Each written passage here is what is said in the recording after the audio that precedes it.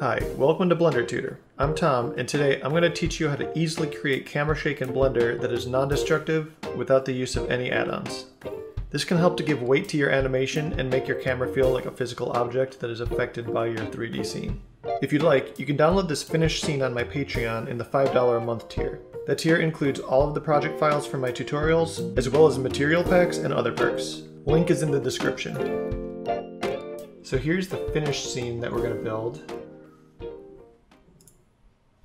We're just going to go over the animation of the camera shake, um, so I won't go into texturing or lighting or anything in this.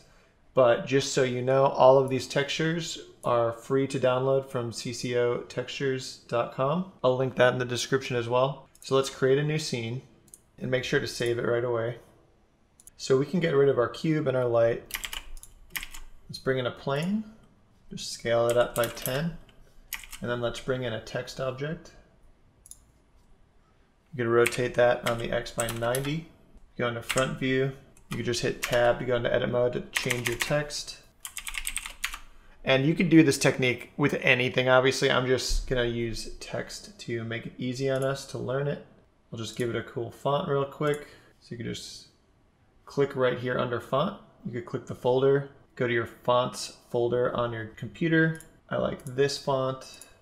And then we can just extrude it a little bit. And then the way I did that outer shape on my finished scene is I just duplicated this you could turn off under fill mode. You could just turn it to none. And then for depth, you could turn that up a bit and you can see it just creates an outer shell around our text now. And then you could also change the offset amount. Although you'll notice if you sometimes if you offset it too much, it'll start getting weird artifacts in the text. So depending on the font you're using, you can't necessarily do that too much. It's also affected by your bevel type. And that's really all we need to do with the text. I'm going to convert these both to a mesh now. So select each one. You could right click and then just hit convert to mesh. Do that for the outer one. Now go into edit mode, hit A to select all, and then hit M to bring up merge. And let's do by distance. You can see that removed over 2000 vertices. I'm to do the same for the outer text now. And now under the object data tab over here, I'm to go down to normals and turn on auto smooth. Now what I'm to do is select both uh, pieces of text. Let's go under the plane and let's just bring that up. So it's just basically just touching the ground. Once we've done that, I'm to bring in an empty.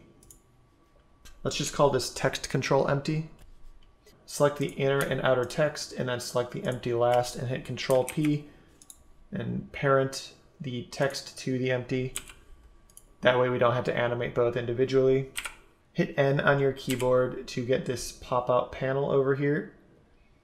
And at 30 frames into our timeline, let's go up to the Z location for our empty. And you can just right click on that and insert a single keyframe. Now let's go 10 frames back and let's bring that up on the Z quite a bit four, four meters is fine. And you can just right click on that and insert single keyframe. And right now you're not noticing much force in that animation. That's because it's a linear animation. So we're gonna add some curves to that in a second. But first, let's just add in our camera real quick. So if you hit Control Alt Zero on your numpad, that'll just snap the camera to your viewport or to your view in the scene. I'm to zero out the X location and on the Y, I'm just to bring it forward. And then we could bring this down on the Z. I just kind of want it to be a low angle. So I'm to rotate that up a bit. And then we're to go into the camera settings over here. Let's just bring the focal length down until we can see all of the text. So I'll just do it 20. So I'm going to bring that a little bit closer and I will rotate on the X a little more. Now let's select our empty again. Go to frame 20. I just want to make sure our text is out of view of the camera. And it is, so we're all good. Let's just make this like a 60 frame animation. Cool, so with that done, let's go to the animation tab up top. And we're going to change this window to the graph editor. So you can just click on this drop down right here, change that to graph editor. And that's going to show the graph for our animation of our empty. Let's box select both of those keyframes. You could right click and let's go to interpolation mode, turn it to Bezier. And now if we watch it, you could already notice that it is a little bit more interesting. It kind of speeds up, but it is slowing down at the bottom and we don't want that. So let's select our second keyframe over here. You could zoom in with the middle mouse button. And I'm gonna scale down the curve on that. And I'm also gonna rotate it. You just hit R to rotate it until it's basically a flat line straight into the keyframe.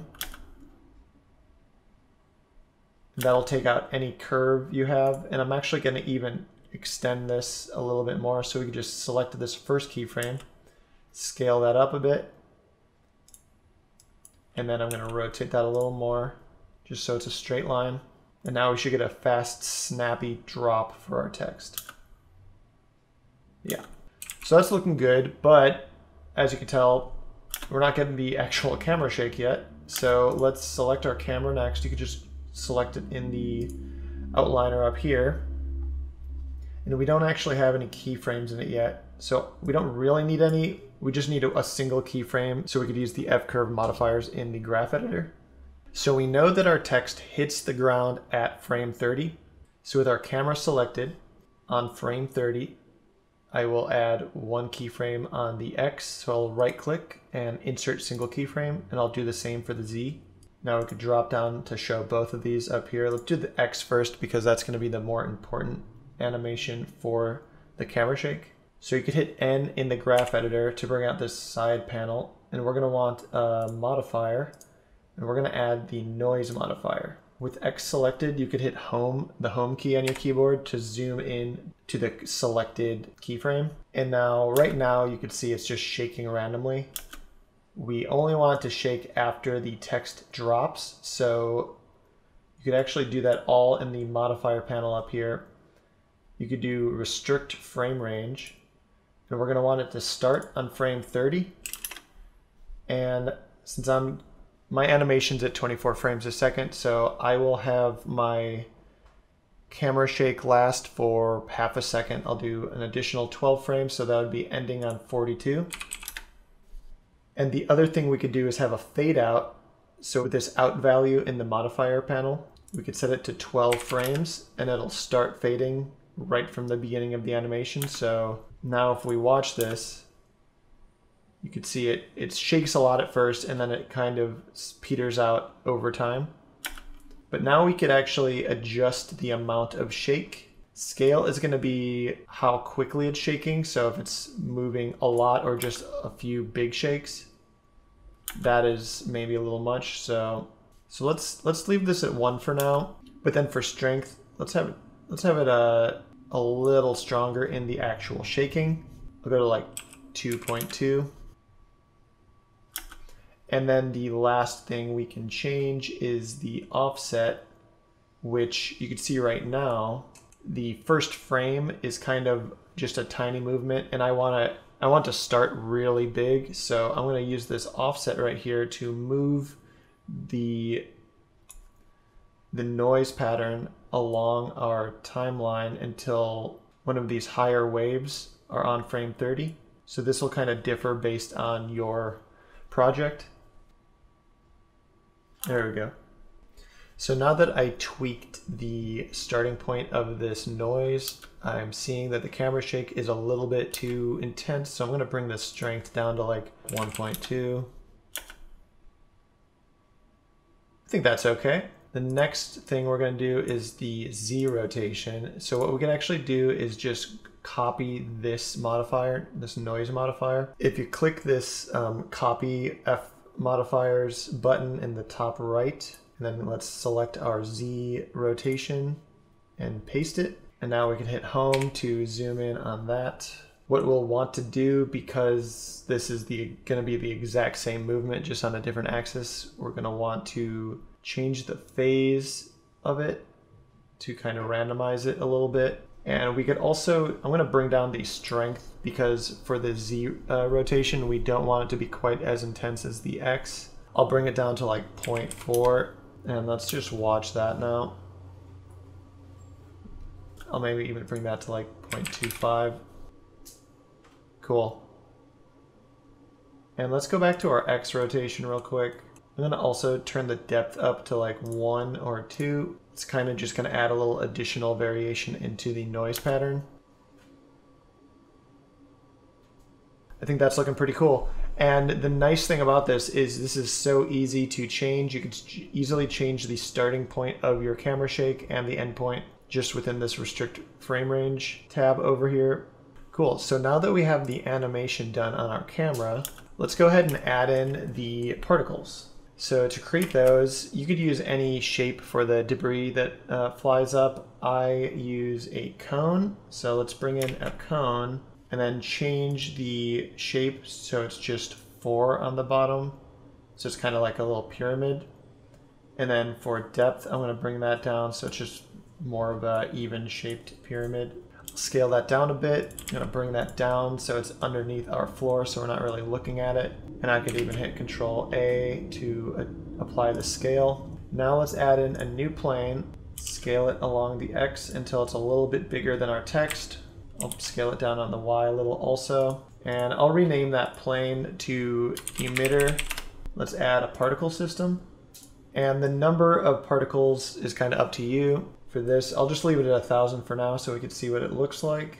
So for the starting frame, we're gonna want it to start on frame 30. We can have it end on 30 or 31. And then lifetime, you just want to make sure the lifetime is long enough that the particles are going to stick around until the end of your animation. So for this, 50 will be enough because it starts at 30 and this animation ends at 60, but you're going to have to adjust this number for your animation. So let's go ahead and select our ground plane and go to the physics tab real quick and just make sure you turn on collision. For the damping and friction, I'm going to bring those both up to 1. And then for randomize, I'll put like 0.25 for each of those. We just want to make sure our particles stick to the ground. And you'll also want to do that for the text object. So let's turn on a collision for both of those. And I'm not really too worried about stuff sticking to this, so we can leave those settings alone for now. Let's go back to our emitter object now. Go to the particle settings again. Under velocity, I'm going to bring a normal velocity up to 3. And then for the Z, I'll set that to 1.5. Bring that up a little bit, and let's watch that again.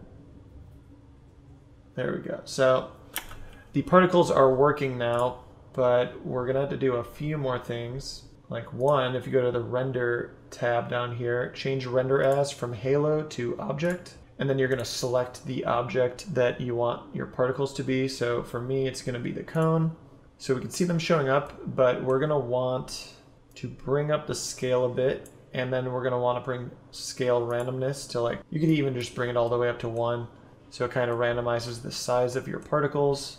And obviously we don't want particles appearing from beneath the object because we'll never see them. So let's just go into edit mode, add in two loop cuts, scale those down on the Y until it's pretty close to our text.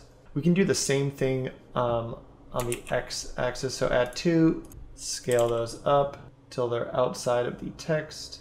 Now if you go into face select mode up here, let's go into wireframe view, select this interface, and just bring that up a little bit so we have an angle on our mesh for our particles to kind of fly out at a different angle. And I'll even, if you go into edge select mode, I'll select the outer edges, scale that down on the Y so that's a little bit closer so they, they should fly out in different directions now. The other thing we could do is just select this interface and delete it because we don't want any particles coming from there. Now we can watch that. So we can see it's working, but it's too uniform. It's just a flat edge, so it's not breaking up the particles at all. So let's add in a few loop cuts. We could even just subdivide that once. And now let's go down to fractal in the subdivide menu down here and bring that up and that's going to kind of distort the mesh. And then we could just add a subdivision surface modifier. Make sure to bring this above the particle system. I'll bring it up to two. And now in our particle system under source, make sure to turn on use modifier stack. And we could also turn off even distribution, save that, and now let's watch and see how that looks. So that is looking okay. I'm gonna select our bottom vertices on this emitter. I'll just scale them down to zero. So if you hit SZ0, that'll kind of scale those so they're a flat line again. I'm gonna also bring in these edges on the side so they are a little closer. So if you just select the, the two side edges, scale that down on the X. And we could even add a displace modifier, add a new texture, go to the texture editing tab down here and change it from image movie to clouds. I just want to add a little bit more distortion there. And now under displace, we could turn the strength down until it's just, you know, adding a little bit of displacement to it to break that pattern up even more. Cool. So that's looking better, although we're going to want to maybe turn down the strength of the velocity so I'll bring that down to 2, and I'll bring this down to 1 on the Z. There we go. So now in the particle settings, let's turn on rotation over here. Under randomize, let's bring that to 0.75. And also under physics, let's go down to forces in Brownian. Let's do 0.01. That's also going to just add a little bit more variation. So let's watch that. There you go. And now that I'm seeing that, I think the scale of the debris is a little bit too big. So I'm going to bring that down to like 0.185. And I think I want a little bit more debris in this also. So I'll bring the number of particles up to like 1250. And it does seem a little bit weaker now. So let's let's bring the strength up on the velocity a little bit again. Let's bring that back to 3. And let's watch that in the camera view. To get rid of your emitter down here, let's go down to render, show emitter, and then uh, also viewport display. You'd also turn off show emitter. Now let's watch that. There we go. And then the last thing I want to go over in this tutorial is to get a little motion blur because I think motion blur adds a lot to the experience of a camera shake. So, so I'm going to render this in cycles. So let's go to cycles up in the render engine. I'll turn on GPU. Let's go to this tab over here, the view layer properties tab, and we're going to turn on vector under data passes. And just to get some simple lighting, I'll bring in HDRI. So let's see that. Cool. So let's just render that real quick. And once it's rendered, let's go into the compositing tab. Let's bring in a viewer node with your viewer node selected, you can actually move this image up. If you hit N on your keyboard and go to v the View tab over here, you could hit Fit so that your image actually fits in your window. Or you could even scale it up here to shrink it down a little bit. I'm to bring my nodes down a bit. Let's bring in a vector blur node. So go into Filter, Vector Blur. Let's plug that in. Then we'll plug in our depth into the Z input in the vector blur node and then vector into vector and hit curved. And the default numbers in the node should work fine. But um, you might need to turn up the samples, especially for the really big camera shakes at the beginning of the animation. They usually go up to like 64. And then for blur amount, that's gonna affect how blurry your image is for my finished animation, I just left it at one, but you could make it a little bit more subtle and turn that down if you want. But yeah, that's basically the easiest technique I've found to create camera shake in Blender without buying an add-on. So thanks for watching, I hope you learned something, and just a reminder that you can get this project file on my Patreon. I'm gonna actually upload this version of the camera shake so that it's a bit more advanced than what we did in the tutorial if you wanna dissect the project file and see how I did that camera move. And once again, everything that I textured in that scene was textured from cc0textures.com. It has a ton of free PBR materials and it is a super useful tool for creating stuff in Blender. I would definitely recommend checking it out. Alright, well thanks for watching and I will see you guys next time.